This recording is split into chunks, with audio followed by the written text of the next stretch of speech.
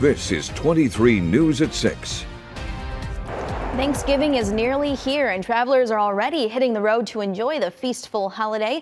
And while the weather has not been a problem, the high volume of travelers creates a perfect storm for trouble on the roads. 23 News reporter Kaylee Randall is at the Belvidere Oasis on Interstate 90. Kaylee, can you describe what you've been seeing so far?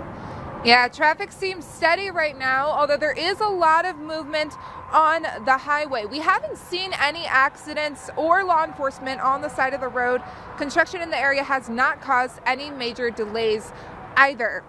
More than 55 million Americans are expected to head at least 50 miles to their Thanksgiving destination. And according to American Automobile Association, while some parts of the country could see some complicated weather that will delay travel times, the state line is in the clear out of any bad weather. But Heather Paul with State Farm says just because roads are clear doesn't mean you shouldn't follow highway etiquette.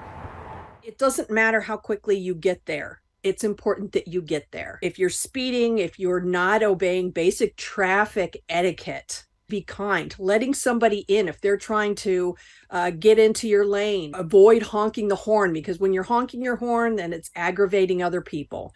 Etiquette is a big way to avoid major accidents and angry drivers on the road.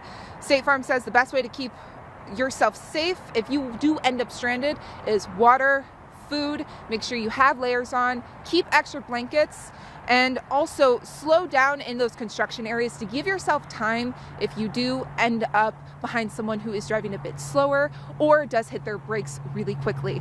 Working for you in Belvidere, Kaylee Randall, 23 News. All right, thank you, Kaylee.